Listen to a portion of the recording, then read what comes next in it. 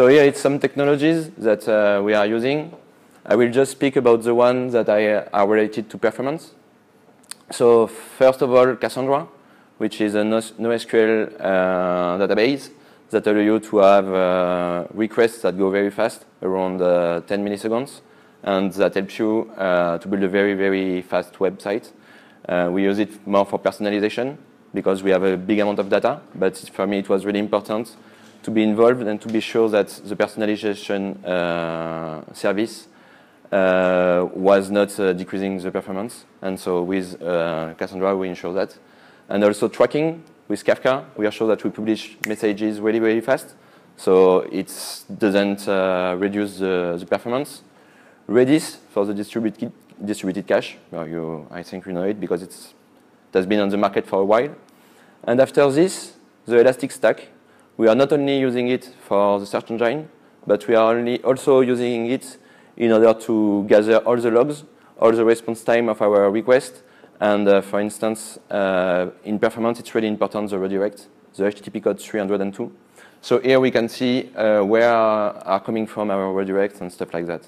And as you know, uh, also Chrome is moving uh, its policy about uh, security. So if you don't have HTTPS on your website on the 31 of January, you will have a very big, ugly, and fat uh, not secure website around your close to your URL. So with that, we are able to track all the HTTP requests coming from our website in order to to be able to spot them and to redirect them to an HTTPS. Uh, after uh, this part, the three are more or less a bundle that we have to put together in order to have con continuous delivery. And I really like this one, SonarQube, that now you can run. We, we will speak a little bit about Docker here because Docker is making our life so much easier for tools that are not for production. You don't have even to, to be sure that it's stable and stuff like that. And SonarQube is really impressive because it's uh, checking the code and you can add some rules about performance in order to be sure that all the code that will be delivered in your platform will be performing well. For instance, checking if someone is doing a SQL request inside of uh, for each, removing the obligation of, uh, of code and stuff like that. So with that, you can have a first uh, barrier to the code that is going in live that could reduce the performance. And after, uh, here we are speaking purely and deeply about performance. Uh, JMeter, it's in order to do some load tests, uh, but now we are using Octoperf. So I don't know who here uh, are doing uh, load tests on their website. Yeah, you? Okay.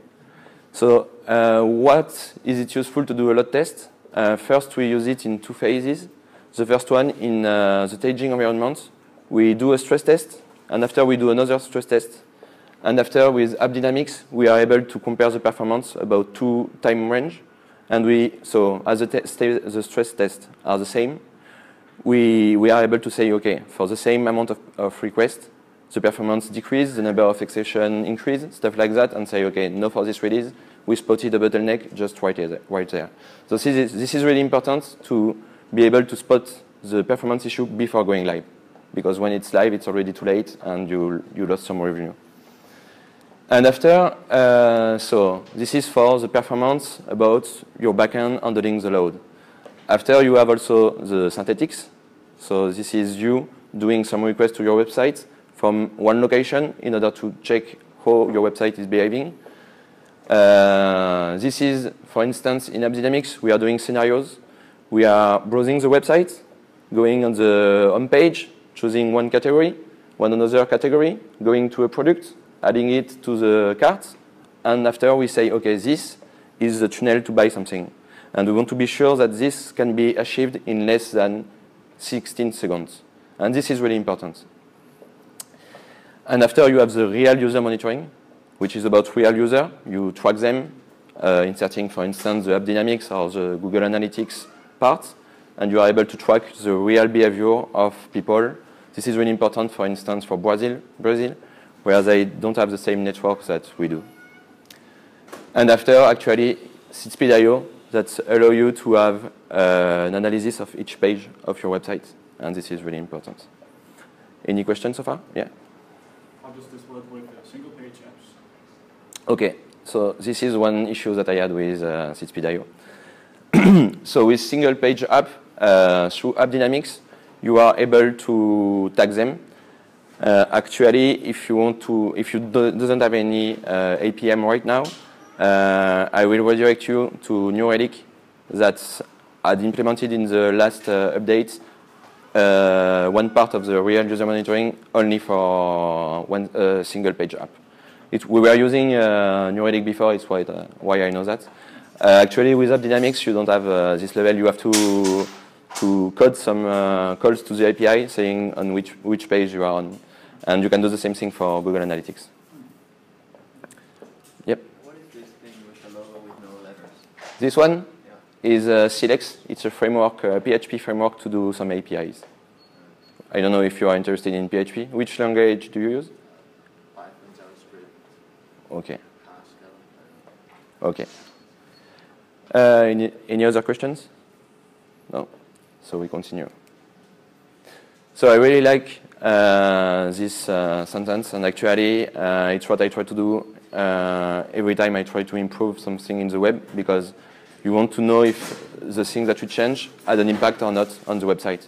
After, it's not related to the presentation, but after I can show you uh, an example of some things that I measured and that we see the effect, and it's really radical. So what you can measure, you can optimize. So this is a, a sentence from Ilya Grigorik. If you are very keeping in touch with performance, you might have seen his name, and I really recommend you to follow his Twitter account, where you can find a lot of very, very interesting stuff. So let's go inside of uh, SiteSpeed.io right now. uh, anybody uh, have already tried SiteSpeed.io? I know that some, someone's, some of you, yeah. Okay. So it was a while ago or it was recently? Okay. So I spoke just just before. Uh, I was speaking with some people who tried it, and uh, we will speak about it after. But uh, as you can see here, uh, this was when I prepared the presentation one month ago, and I'm sure that we have a lot more of contribution and a lot of more of commits because the development pace is really really amazing. Uh, actually, I had, just before the presentation, I updated all the SiteSpeed.io stuff, so maybe nothing will work. we will have a look. uh, but yeah, uh, now it's really much easier to install, and you can have everything set up in less than five minutes. So yes, big community, and it's a set of, of tools. The tool SiteSpeed.io, and after you can use other tool, other plugins. So let's speak first about SiteSpeed.io. Uh, I don't know if you are used to, to play with web page test. I know that you do. uh, but this is more or less some features that we have in web test. Uh, for now, it's not a full feature. For instance, uh, here you can you, uh, simulate mobile or use real mobile. Uh, you know, you plug your iPhone or your Android on your computer, and after it's the, the real device that is running the test. What is good with that is that you also simulate the hardware. So if you have like a lot of images, you are simulating the graphical device and everything like this. So it's better than a simulation. Uh, for now, only supported by uh, Firefox and Chrome. For the real mobile, only Android for now. iPhone is coming very fast. Bandwidth simulation, still better to do it without simulation, but still a feature that we want to have.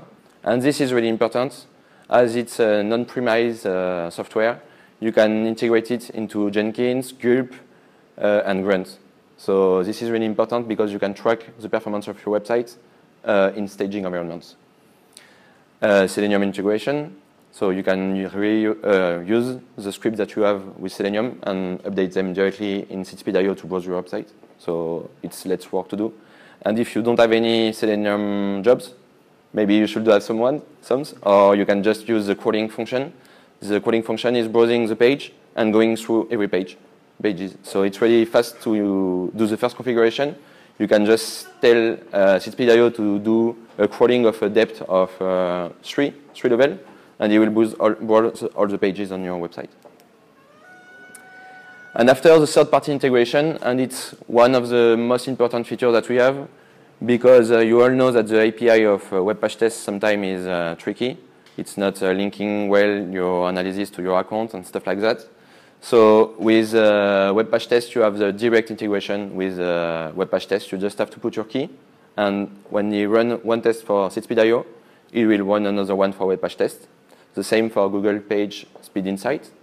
And after, you can also integrate it with Slack in order to put some alerts and stuff like that. And after, you can use custom plugins or plugins. For instance, for an e-commerce website, one timing that is really important is on the, on the listing product. Uh, it's to have the first product displayed. This is one very important time. But it's something that allow you to, to, to say, okay, the customer already have one product and begin to be less frustrated. And after uh, the different reports that uh, generate uh, SiteSpeed.io, the third one is uh, the one that is a very nice feature. Unitary report, it's more or less what you have when you execute a web page test uh, instance. So here you can have all the history kept on your browser. It's not like a web page test when sometimes they uh, erase all the data that you have uh, um, that are older than six months. You have the coach. The coach is really nice. According to the feature of the information that you retrieved from the analysis, it will tell you uh, how to optimize performance, accessibility for SEO, and bad practices. And this is really nice because it's not saying your website in your website this and this and this and this and this and this and this and this is really terrible. It's a bad website. This thing is saying, okay, you can improve doing that, and you have a big paragrapher. So if you are not used to work with performance, you will learn a lot about it and a lot about issues that you are doing in your website. We'll have an example just after, but it's uh, really helping you to, to see how to improve this and uh, what are the best practices. And after, it's what I really like. It's the historical dashboard. Every test that you do, the, all the information is sent into a database that we will see later. And after, from a client, you can see historically your performance. You can see historically a lot of metrics, like the number of images in your pages, the size of the images, a lot of information. And this is really good when you have some performance decrease. You can track down what happened on your website. And I have an, an example just after.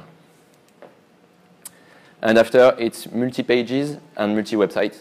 So here, we'll, you will see during the demo, but here you can change the website that you are looking at. You can change the pages that you are looking at. So you can have a custom uh, analysis for your website in Spain and for the home page or for the product list listing page or your web mobile, and you can switch. So it's really nice. Any question? Yep. How does it work with uh, stateful uh, websites? With stateful websites, Can it log in, for instance? You will have it in the demo. So as you, you can start a Selenium script before analyzing your website. And the, so actually I had an issue with that. I will speak about it during the demo. Uh, because I was not able to clean the cache of the browser. So I had to, to put the cookies directly. I, I will show you just after. And if I, I forget, don't hesitate to stop me and to remind me uh, the question. Don't hesitate to stop me when I'm speaking because I'm very talkative and uh, sometimes it can last long. So stop me as we are not so much. Uh, it will not be an issue. so more or less the architecture about uh, web page test. Uh, here you have your instance of web page of speed. Uh, sorry, I said web page test is SiteSpeed.io. Uh, here you have your SiteSpeed.io. You tell him to go to test your website. So he's initiating a, a web browser, going into your website and retrieving all the metrics. And after, he sends all the metrics to Graphite. Just after, he calls uh, the API of Web Page Test and the API of uh, Google PageSpeed and tells them to analyze your website, the same page. So this is good because you are uh, remotely controlling uh, Web Page Test and uh, Google Spe uh, Page Insight. And after, what you do, uh, if your SiteSpeed.io server is open to the exterior, uh, Web Page Test and Google send a request saying I have finished, and after you download the report, the report and you send it into Graphite. This will not be shown in the demo because it's only on my local device, and uh, so it's not open to the to the exterior. After uh, the freaky guy go on the, the freaky performance uh, guy go in uh, on his laptop, connect to Graphite, Grafana, which is the client doing requests to Graphite, and you are able to display all the historical information. So I will go quickly into the pro and the cons. Uh, first, the pro, it's a very quick installation. It's made with Docker Compose. You download the um, YAML file, you do a Docker, Docker Compose up, and it's already done. You have started all the architecture. Uh, this is a feature that is really cool, and you don't have it in a lot of open source projects. It's the historical data. Normally, uh, it's a feature that's uh, only available in a SaaS platform where you pay. Third tool integration, so rem remotely using Webpagetest test and stuff like that.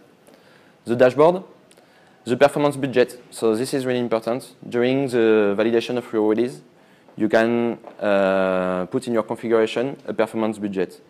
Uh, someone wants me to explain what is a performance budget, or you are you are cool with that? It's yeah.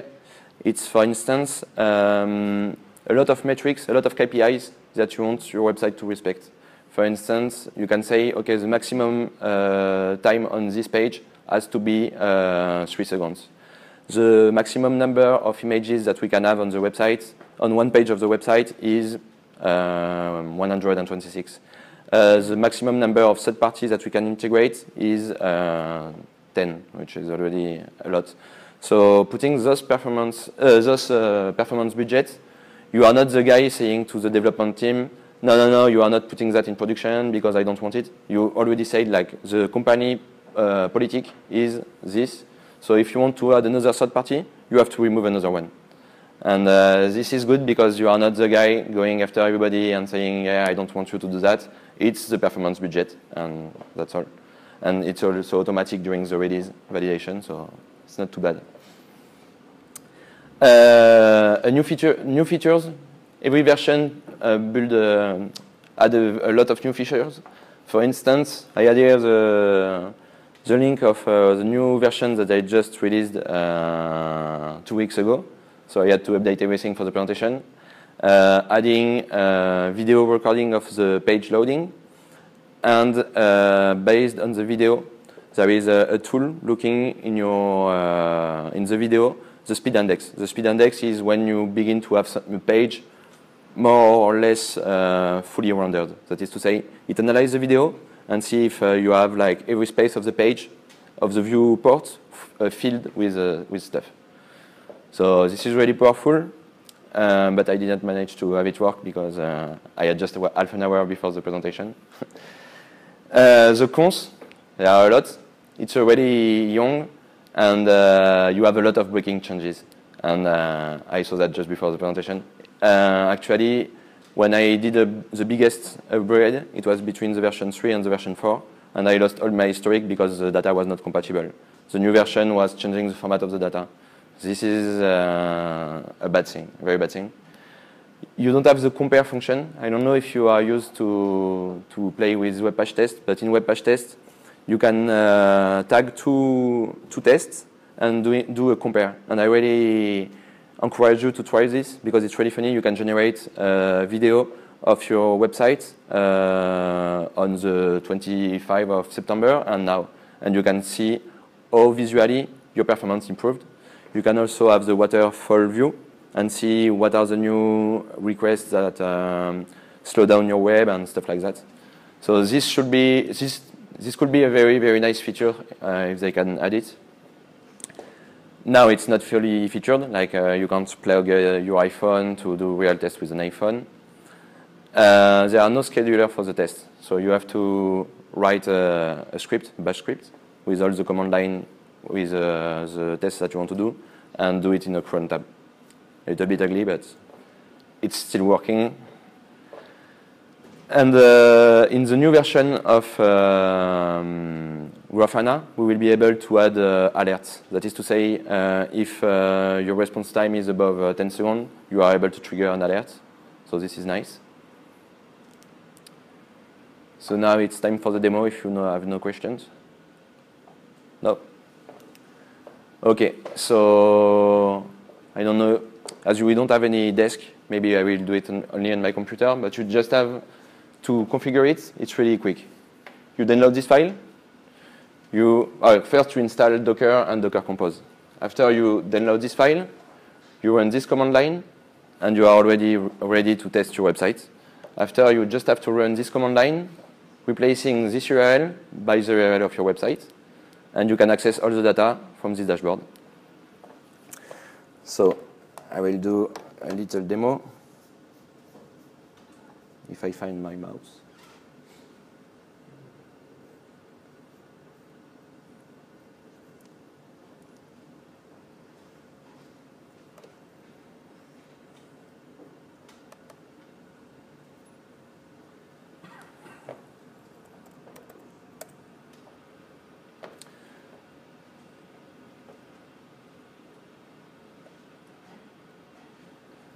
So uh, I will do a very risky stuff. Maybe I will mess up the presentation. I close all the Dockers. I will be, in order to be sure that I'm not uh, telling you lies, I will stop everything. Okay, everything is stopped. So now in this file, I have my Docker Compose, and after some scripts to do the, the login. And uh, here it's where I generate all my results. This folder is a little bit different. Is what you have to install in order to, to record a video of your website loading. Okay, so now let's see if we don't have any demo effect. You start all the Dockers. They are mounting special hard drive, special um, location in your drive, so you are not losing any data. Okay, so now it's no errors? No, it seems to be good. Cool. So when you do that, it's running after at all the startup of your computer. You don't have to do anything more. Everything is already settled. So now, let's try to test the website of someone here. Um, can anyone give me a website that you want to test? Thank you.